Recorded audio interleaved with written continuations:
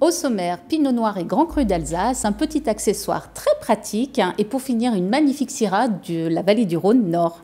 Et vous m'avez appris que le Pinot Noir allait être autorisé en, en Alsace grand cru désormais. Pas encore. Pas encore. Ce n'est pas encore validé, mais c'est en cours. Il y a un dépôt de dossier qui a été fait en juin 2016 auprès de l'INAO. Ça va concerner uniquement que trois grands crus, Vorbourg, Kirchberg de Bar et le Hengst. Maintenant, on attend. Euh, euh, il faudra encore patienter. Apparemment, selon nos sources, ça devrait être pour la vendange 2019. Gros plan sur le Hengst alors justement ce soir. Exactement. Donc le Hengst, c'est 53 hectares. On est sur euh, une altitude qui cumule à 360 mètres. On est sur un climat qui bénéficie du microclimat de, de Colmar, donc plutôt chaud et sec. On est sur un terroir hein, qui est plutôt marno-calcaire avec une présence de grès, une bonne présence de fer, propice à faire de grands vins rouges. C'est un grand cru qui est Déjà planté en Pinot Noir? Alors, le pinot noir est déjà planté, ça représente 3,5% de l'encépagement. Il n'est pas revendiqué en, grand cru, puisqu'il est vendu actuellement sur l'appellation Alsace. Tant qu'on n'a pas l'autorisation, on ne sait pas. Et votre domaine coup de cœur alors là-bas de la semaine Alors, le domaine coup de cœur, c'est euh, Barmès Bucher hein, pour euh, sa vieille vigne en grand cru Hens. C'est un vin élégant, racé, structuré, puissant, une très jolie euh, cuvée à découvrir. On a rencontré Maxime Barnès. On regarde.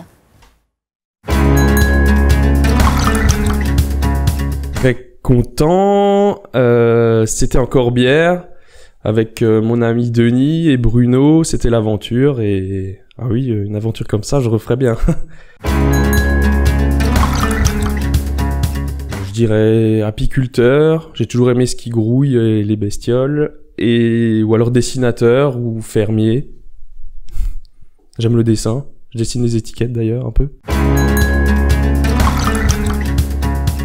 Des Broten Hartäpfel mit euh, Fleischkerl. Ça veut dire euh, des patates grillées, des pommes de terre grillées et puis euh, de la viande hachée. Alors il faut pas manquer de bonnes bouteilles de vin, une multitude et des, et des bons copains et puis euh, puis des sourires quoi.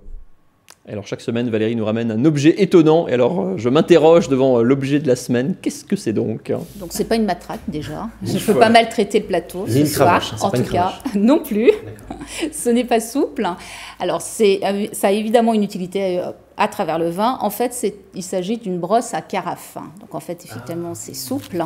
Alors brosse entre guillemets, hein, c'est-à-dire votre carafe, vous la lavez à l'eau claire. Évidemment, vous la, s'il y a des traces de calcaire ou euh, de tanin, il vaut mieux utiliser des petites billes abrasives que j'avais déjà présentées sur le plateau, ce qui permet évidemment d'enlever euh, ces, ces tanins, ces traces.